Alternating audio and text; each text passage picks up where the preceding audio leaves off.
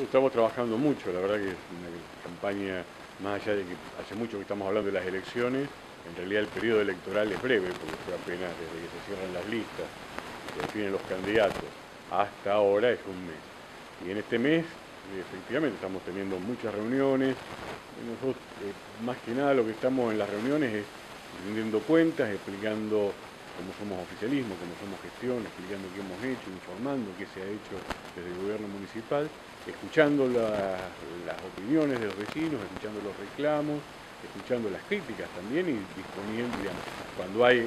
una respuesta para dar la damos y cuando hay una queja para anotar porque hay un problema que todavía no ha sido resuelto, anotándolo y metiéndolo, incorporándolo en la agenda. Lo hemos hecho con recorridas en barrios, este, con reuniones, que nos ha dado muy buen resultado en otras, en otras campañas electorales, que es la de hacer en nuestras sedes partidarias cenas e invitar a grupos de vecinos. Algunos por un interés particular, vecinos de un barrio en particular, y otros vecinos, otro día nos reunimos con farmacéuticos de Luján, que tratamos la problemática particular, unas problemáticas particulares que a ellos les interesan, pero además como había farmacéuticos de Torres, de Olivera, de Jauregui, del barrio San Pedro, de distintos barrios de Luján, del barrio San Francisco, perdón, del barrio mm, Los Laureles, nos sirvió también para tener una visión integral de distintas, distintas cuestiones sobre Luján. Vamos a tener con representantes de clubes barriales, es decir que estamos con una actividad muy intensa tratando de hacer todo lo que podemos en este periodo, reforzando nuestra, nuestra imagen, reforzando nuestra presentación, nuestra propuesta, de modo, de modo que todos la puedan conocer. La gente tiene un, reconocimiento a todo lo que es el programa de obra pública que se está haciendo en Luján, a veces algunos se sorprenden porque por ahí cada uno lo conoce según el lugar donde vive y no sabe qué se está haciendo en otras partes. Cuando uno lo explica, lo informa, la verdad que muchos se, sorprenden y es un tema este, en general bien visto y, que nos, vemos una buena recepción por lo que reconocemos y es deuda que tenemos y que la reconocemos y que sabemos que es así, es una demanda en cuanto a prestación de servicios públicos. Nosotros explicamos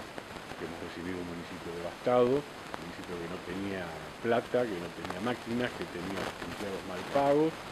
que toda esa reconstrucción que nos llevó la primera gestión, y que recién, en el último año de la primera gestión, recién a partir del 2015, el municipio pudo empezar a hacer los trabajos en barrios y localidades que hacía falta hacer. Pero hacía tanto tiempo que no se hacía nada, era tan grande la deuda que tenía el municipio con los vecinos, que ahora saldarla, pagarla, nos cuesta mucho. Y cuando nuestras máquinas y nuestros equipos empiezan a trabajar en un barrio, hay otros 5, 7, 10, 15 que están esperando. Por eso sabemos que es una problemática, una carencia que tenemos, la escuchamos, anotamos cuáles son las necesidades y sabemos que vamos a llegar, pero bueno, pedimos paciencia porque es mucho lo que falta hacer. Usted tiene, es una particularidad, uno ve en otras listas que tratan de buscar la uniformidad que estén todos, sean todos iguales, que piensen todo igual, que no haya posibilidad de disenso de, o de divergencia. Esta es una lista formada por tres partidos y en cada uno de los partidos con historias, con identidades, que reconocemos que tenemos mm, puntos que nos separan, pero sabemos, y esto nos lo dice la gente, y este es el compromiso que tenemos, que es mucho más lo que nos, nos une. Es una lista que está conformada por gente que proviene del radicalismo, del vecinal, del PRO, eh, que los partidos hemos tratado de poner en la lista lo mejor que tenemos, la, mejor propuesta que podemos hacer y que como la sociedad misma nos nutrimos de nuestros distintos puntos de vista, nuestras distintas opiniones. Eh, yo, a mí me gusta mucho analizar qué pasa en la sociedad. Y si uno ve en la sociedad cuáles son las entidades que son bien manejadas, son aquellas donde no buscan pensar todos iguales.